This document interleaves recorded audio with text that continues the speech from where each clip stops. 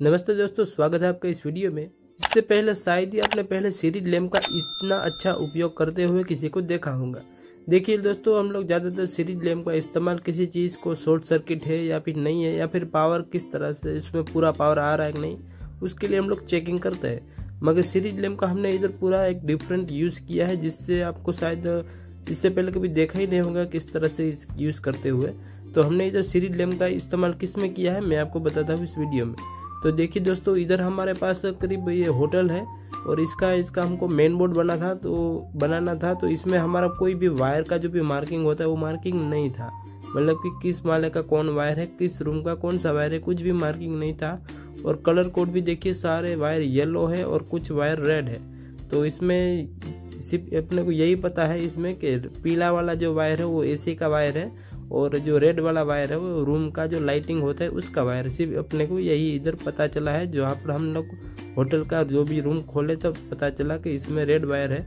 वो लाइटिंग के लिए इस्तेमाल किया हुआ है और जो पीला वाला वायर है, वो एसी के लिए इस्तेमाल किया हुआ है। सब इतनी जानकारी थी हमको, मगर हमको इधर कोई भी वायरिंग में कोई मार्किंग नहीं था।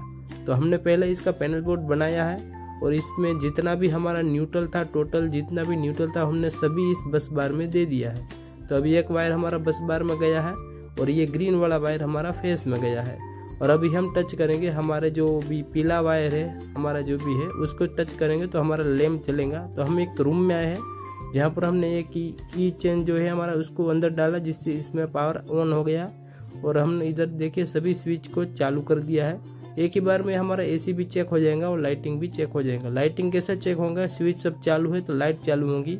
और एसी हमको चेक करने के लिए इधर आएँगे हम लोग। अभी इधर एसी नहीं लगा हुआ है। तो हम क्या करेंगे? ये जो दोनों वायर है, उन दोनों को हम लोग आपस में ज्वाइंट कर देंगे। जिससे हमारा नीचे हमारा सीरीज़ कंप्लीट हो जाएगा और सीरीज़ लैम्प जलेगा। जिससे हमें पता चल जाएगा ये कौन सा रूम है।